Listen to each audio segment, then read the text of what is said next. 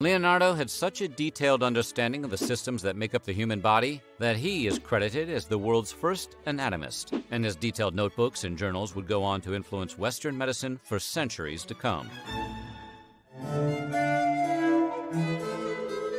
Leonardo da Vinci believed the workings of the human body to be an analogy for the workings of the universe. After all, if man was created in God's image, then it would stand to reason that one could explore God through man. It's not hard to imagine that Leonardo and his compatriots like Michelangelo found their studies of the human form to be no less than an act of worship, a holy mission, one for which laws and ethical concerns need not apply.